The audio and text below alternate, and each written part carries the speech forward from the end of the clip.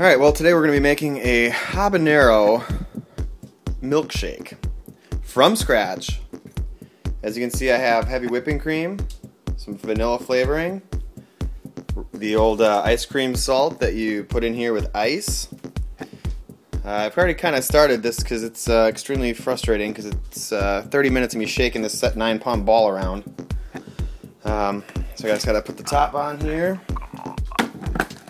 and get shaken. 15 more minutes, and I'll have some fresh, fresh ice cream. Kind of a workout! Alright, well 30 minutes in the shaker. Uh, my arms are dead because I'm not, I don't really work out, so it's probably gonna suck tomorrow, but should have a quart of vanilla ice cream. So I'm gonna just get this out. And here we go. Here's our fresh made ice cream. It is a little liquidy, so it is going to go in the freezer for a bit while I prep everything else. Alright, so now we got our habaneros. Got it, you know, there'll only probably be two in this in the mix, but we got to chop enough to use the ninja, so. Okay, first we're going to start with our orange syrup. We're going to use the blood orange. So we're going to do a tablespoon of that. Alright, now we're going to add a half a teaspoon of some orange dream.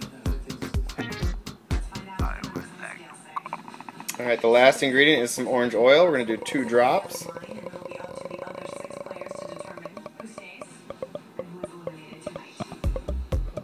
I got it on my finger, but that was two.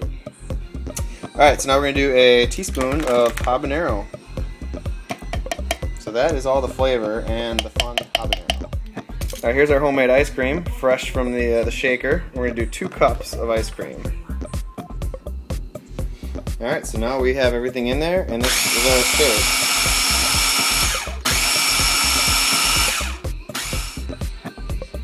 There we go. Habanero milkshake. Ooh, yeah. Mm -hmm.